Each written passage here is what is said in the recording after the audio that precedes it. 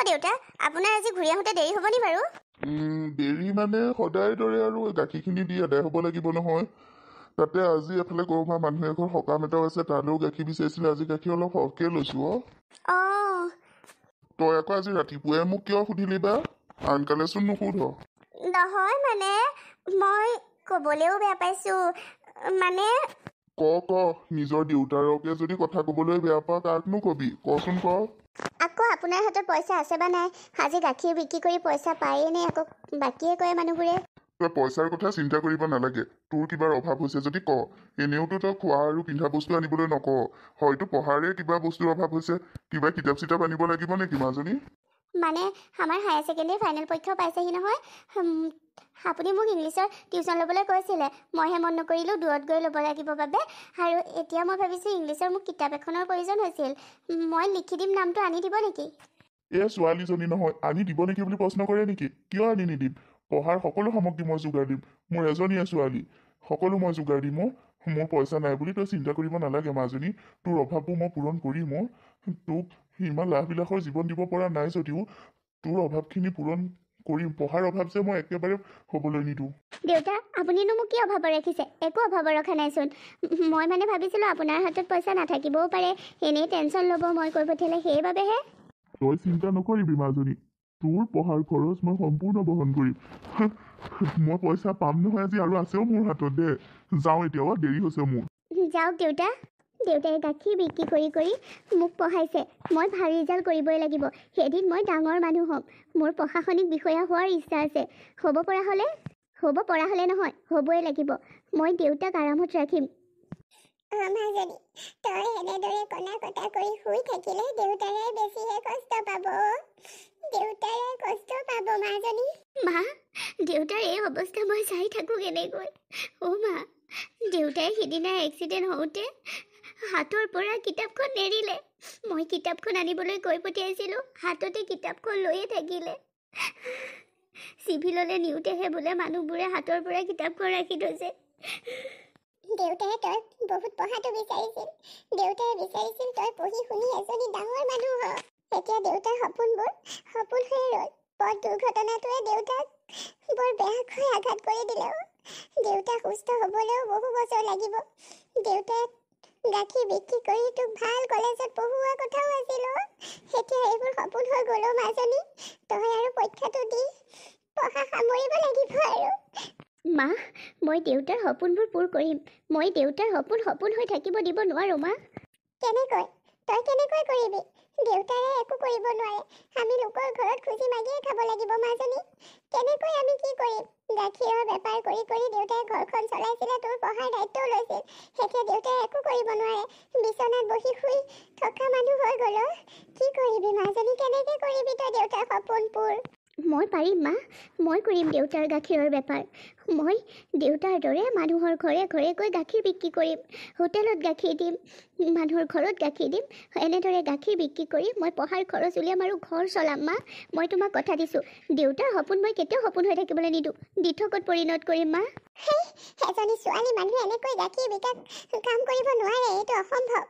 সেই অসম্ভৱটোক মই সম্ভৱ কৰিম মা। কিন্তু দেউতাই তোক সেই কাম কৰিব কেতিয়াও নিদিব অ মাজনী? দেউতাই মোক সেই কাম কৰিবলৈ দিব লাগিব। দেউতাই বিচাৰিছিল দেউতাৰ জীয়েক স্বাৱলম্বী হোৱা। আৰু মই স্বাৱলম্বী হ'ম। মই দেউতাক মোৰ শপত দি দিম এই কথাটোৰ বাবে মান্তি হ'বৰ বাবে। মাজনী?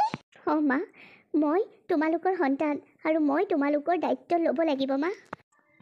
অ' যতীন দাদা এইফালে আহিবচোন। কি হ'ল তোৰ? বাপেও ব্যৱসায়টো তই ধৰিলি নি?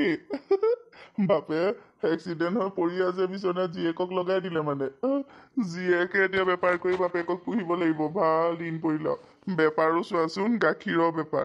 হেৰ তই লোকৰ ঘৰত কাম বনকে কৰিব পাৰিলিহেঁতেন চোন। সেনেকে চোন গাখীৰ লৈ লৈ ঘৰে ঘৰে ঘূৰি ফুৰাতকে। কাহিনী আৰু দেই তোৰ মাৰ বাপেৰে এইবোৰ কৰিবলৈকে পঠিয়াইছে নে? যতীন দা মই ভাবিছিলোঁ আপুনি এজন ভাল মানুহ। হেনো গাঁৱততো আপোনাক ভাল মানুহ ভাল মানুহ বুলি সকলোৱে প্ৰশংসা কৰিয়ে থাকে। ইটো সিটোৰ সহায় কৰে আপুনি। সেয়ে ভাবিছিলোঁ মোৰ চাইকেলখনৰ যিহেতু চেইন পৰিলে আপুনি চেইনডাল উঠাই দিবহিচোন বুলি ভাবিছিলোঁ। কিন্তু নাই আপুনি মোক হিটিকিংহে কৰিলে ঠাট্টা মাৰিলে মোৰ ব্যৱসায়টোৰ ওপৰত। তই যিটো ব্যৱসায় কৰিছ হাঁহি উঠিবলগীয়া। গাখীৰৰ বেপাৰ তাকো ছোৱালী মানুহে। বাপেৰে লৰচৰ কৰিব নোৱাৰি তোকে দি দিলে এভাৰ হ'বলা। দেউতাই মোক এই দায়িত্ব নাই দিয়া মই নিজেই লৈছোঁ। কাৰণ দেউতা আৰু মাক চোৱাৰ দায়িত্ব মোৰ। সন্তানৰ দায়িত্ব হয় মাক দেউতাকক পোহপাল দিয়া বা মাক দেউতাকৰ যতন লোৱা। গতিকে আৰু এই বেপাৰটোক লৈ মই একো লাজ নকৰোঁ কাৰণ মই কাৰোবাৰ ওচৰত ভিক্ষা খোজা নাই। নিজে কষ্ট কৰি মই বেপাৰ কৰিছোঁ। গাখীৰ বেপাৰ হ'ল কি হ'ল? নিজে কষ্ট কৰিহে কৰিছোঁ? কাম নাই আৰু। আহিছো দে। যাওক যাওক ময়ে মূৰ্খ। আপোনাৰ নিচিনা মানুহৰ সহায় ল'ব বিচাৰিছিলোঁ যে মই। অঁ তোৰ মানুহজনৰ অলপ ভাল হৈছেনে বাৰু? হৈছে বাইদেউ। অলপ আগতকৈ ভাল পাইছে বাৰু। কিন্তু সেই একে বিচনাত বহি শুই থকা ধৰি ধৰি ইটো সিটো কাম কৰাব লাগে।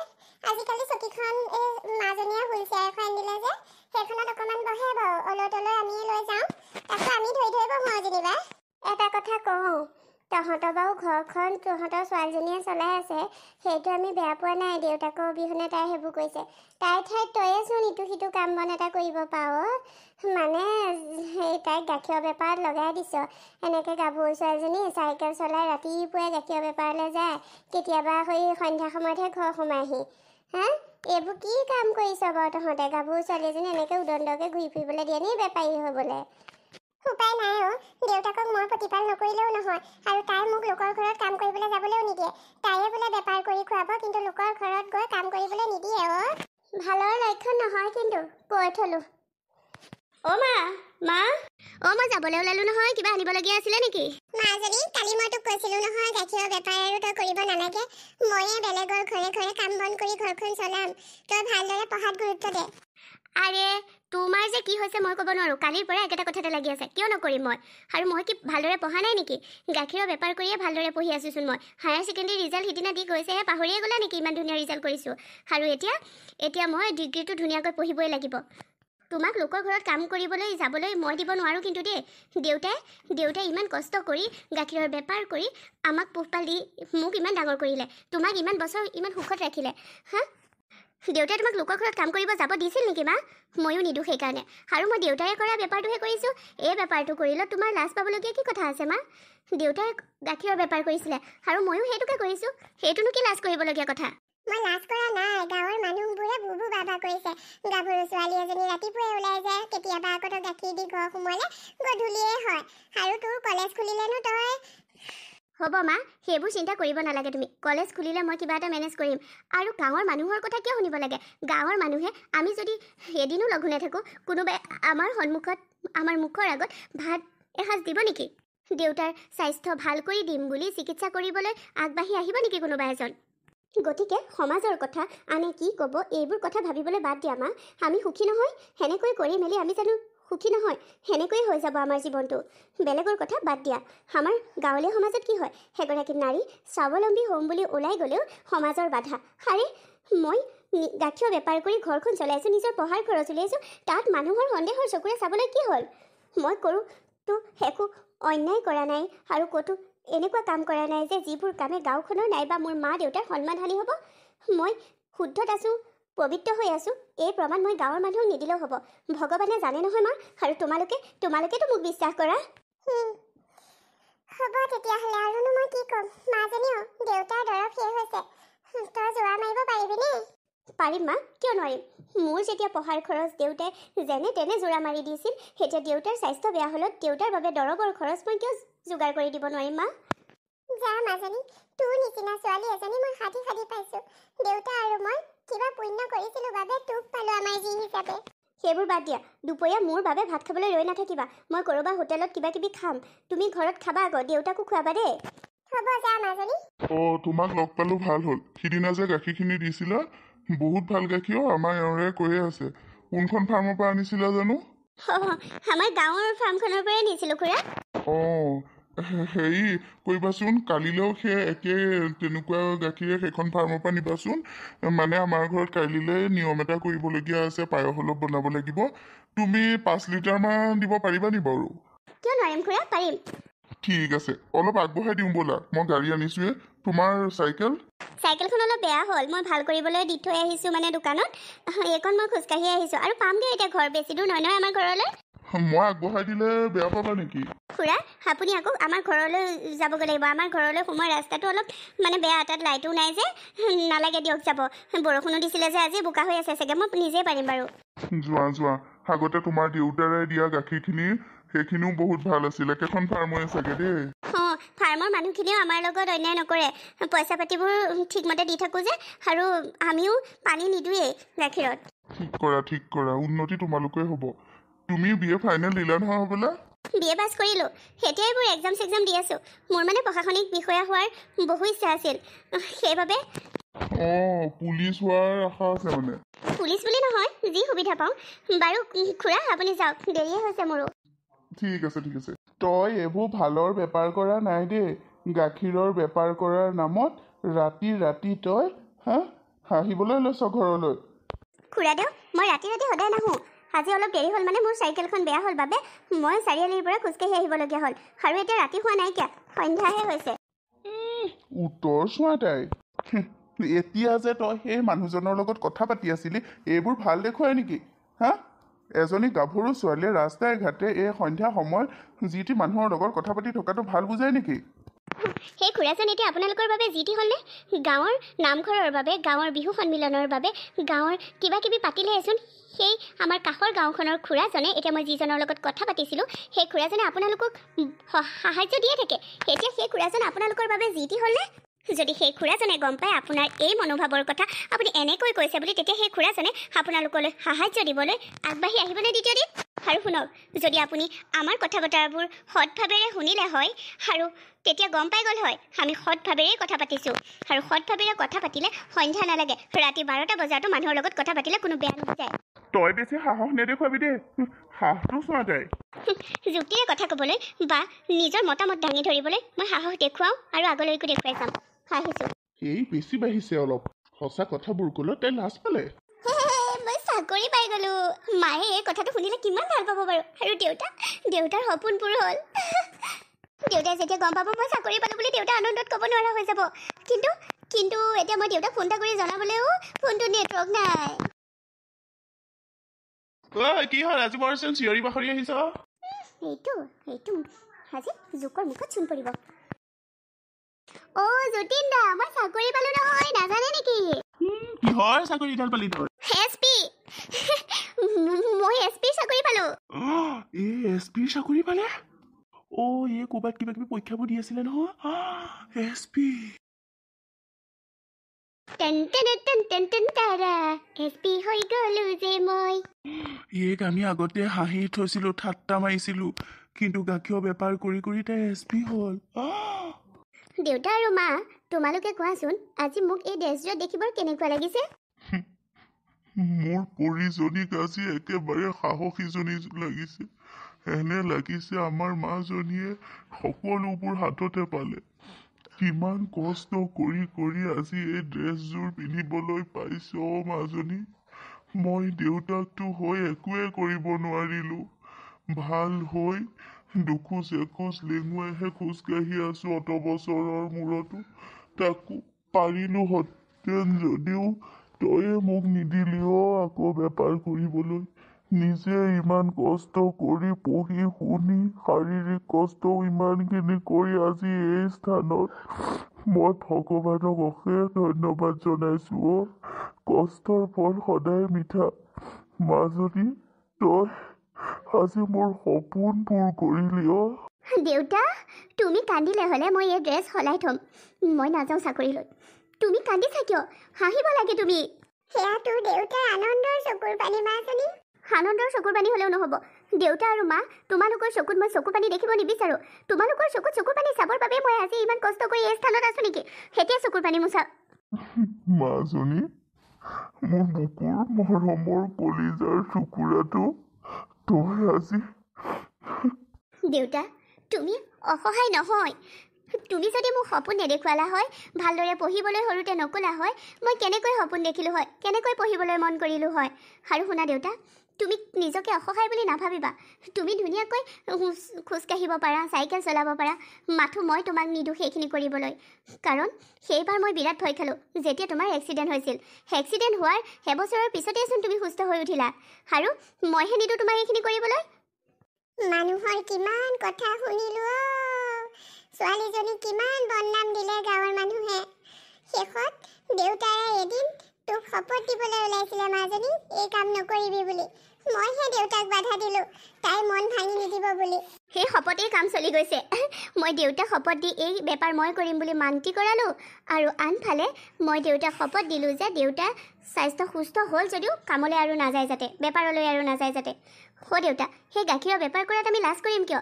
গাখীৰৰ বেপাৰ কৰিয়ে তুমি আমাক ডাঙৰ কৰিছিলা মানে মোক ডাঙৰ কৰিছিলা মাৰ অভাৱখিনি পূৰণ কৰিছিলা। আৰু সেই গাখীৰৰ বেপাৰ কৰিয়ে মই পঢ়া শুনা কৰিলোঁ। আৰু এতিয়া চোৱা ভগৱানে চকু মেলি চালে। মই এছ পি হ'লোঁ। যা মাজনী নিষ্ঠা সহকাৰে কাম বনবোৰ কৰিবি। কোনেও যাতে তোৰ কৰ্মক লৈ কেতিয়াও আঙুলি টোৱাব নোৱাৰে। কৰ্ম ক্ষেত্ৰত নিষ্ঠাৰে কৰিবি সকলোবোৰ কাম। আজিলৈকে তুমি আৰু দেউতাৰে দিয়া সংস্কাৰৰ বিপৰীতে মই একো কাম কৰা নাইকিয়া মা। তোমালোকে মোক ইমানেই ভাল সংস্কাৰ দি ডাঙৰ কৰিছা যে কিবা এটা ভুল কৰিবলৈ মোৰ মনে কেতিয়াও নকয়। আৰু হয়তো আগলৈকো কিবা এটা ভুল কৰাৰ আগত মই হয়তো এশবাৰ ভাবিব লাগিব। কেতিয়াও মই ভুল নকৰোঁ। দেউতা তোমাক মই কথা দিছোঁ। মা তোমাকো মই কথা দিছোঁ। তোমালোকৰ মাজনীয়ে কেতিয়াও ভুল নকৰে। কৰ্মক্ষেত্ৰতো কোনেও আঙুলিয়াব নোৱাৰিব আৰু সামাজিক ক্ষেত্ৰতো। মানে মোৰ চৰিত্ৰক লৈও কোনেও আঙুলিয়াব নোৱাৰিব। আগতে এইবোৰ মানুহবোৰৰ ভুল ধাৰণাহে নাৰীক স্বাৱলম্বী হ'বলৈ নিদিয়াৰ ফল। সেইবাবেহে ইটো সিটো সমালোচনা। বাৰু যি কি নহওক এইবাৰ মই প্ৰথম মাহৰ প্ৰথম দৰমহাই গাঁৱত এটা ডাঙৰ ভোজ দিম। সিদিনা গাঁৱৰ মানুহ দুগৰাকী মানে কৈছে বোলে চাহকণ খুৱাই থলে নহ'ব আমাক ভোজ ভাত খুৱাব লাগিব। মই ক'লো হ'ব বাৰু তাই প্ৰথম মাহৰ দৰমহায়ে খুৱাই দিম। অঁ তোন সেইদে ক'বা। বাৰুকে আমাৰ জিলাখনতে আছ বুলিহে হয় নলে গুচি যোৱাহেঁতেন আমি অকলশৰীয়া হ'লো হয় মাজনী যিবোৰ গাঁৱৰ মানুহে তোক হাঁহিছিল তোক চৰিত্ৰক ধৰিও কথা কৈছিল সেইবোৰ মানুহে এতিয়া বিচুতি খাইছে অ মাজনী। সেইবাবে কৈছিলোঁ মই তেতিয়াই তোমালোকক ধৈৰ্যৰ ফল সদায় মুঠা। যিবিলাক মানুহে মোক তেতিয়া অপমানিত কৰিছিল মোক যি টি কথা শুনাইছিল সেইবিলাক মানুহে এতিয়াতো বুজি উঠিছে মই যে সৎ পথত আছিলোঁ। ঠিক তেনেদৰে ভগৱানে তোমালোকৰ মৰমৰ মাজনীক তোমালোকৰ ওচৰত থাকিব লাগিব কাৰণে আমাৰ জিলাখনতে মোক চাকৰিটো দিলে। হয় অ যা যা তোৰ দেৰি হ'ব মাজনী। আজি প্ৰথম দিন দেৰি নকৰিবি মাজনী। ঠিক আছে। গাখীৰৰ বেপাৰীৰ জীয়েক আজি। এছ পি হ'ল আহিছোঁ মই যা মাজনীও হ খুৰা দেউ ভাল নহয় সেই কামলৈ যোৱাৰ পৰা আপোনালোকক লগ নোপোৱাই হ'লোঁ বাকী ভালে আছে নহয় আছো তই মোক ক্ষমা কৰি দিবি অ আগতে তোক মই কত কথা শুনাইছিলো অ হাৰে খুৱাদৌ সেইবোৰ সেই সময়ৰ কথা বাদ দিয়কচোন এতিয়া সেইবোৰ কথা হ'লেও মনটো বেয়া লাগে তই প্ৰমাণ কৰি দিলি গাখীৰৰ বেপাৰীৰ জীয়েকো যে এদিন এগৰাকী ডাঙৰ অফিচাৰ হ'ব পাৰে ডাঙৰ মানুহ হ'ব পাৰে আৰু কৰ্ম কৰিবলৈ যে লাজ কৰিব নালাগে। লোকৰ ওচৰত হাত পাতি নোখোৱাকৈ লোকক ভিক্ষা নোখোজাকৈ নিজে কামত লাগিলি। দেউতা অসহায় হোৱাৰ পিছত তই নিজে গাখীৰৰ বেপাৰ কৰিলি। সেইফালৰ পৰা ক'বলৈ গ'লে গাখীৰৰ বেপাৰীৰ জীয়েক এছ পি হ'ল। আনফালৰ পৰা ক'বলৈ গ'লে গাখীৰৰ বেপাৰ কৰি কৰি পঢ়ি এজনী গাঁৱলীয়া ছোৱালী এছ পি হ'ল। খুৰা এইবোৰ আপোনালোকৰ আশীৰ্বাদৰ অবিহনে সম্ভৱ হোৱা নাইকিয়া অ' তোক জানো আমি আশীৰ্বাদ দিছিলোঁ। বেয়া কথাহে শুনাইছিলোঁ।